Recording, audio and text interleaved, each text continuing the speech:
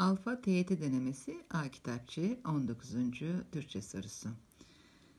Yine e, bir muhabir ve bilim insanı konuşmasında muhabirlerin sorularını cevaplarına bakarak tespit etmemiz gereken bir soru.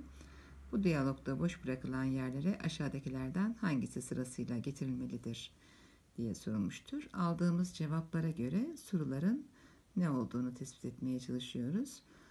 Bilim insanının birinci konuşmasında kuşlara merakının oluşum sürecinden söz etmiştir.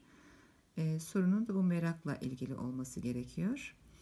Ee, ikinci verdiği cevapta da çalışmak için bulunduğu yerlerin çalışmalarına, araştırmalarına etkisinden söz etmiştir. Artısı ve eksisi vardır diyerek yaşadığı yerlerin yaptığı çalışmalara katkısıyla e, ilgili bir cevap vermiştir. Dolayısıyla e, soru yine bu yönde olmalı.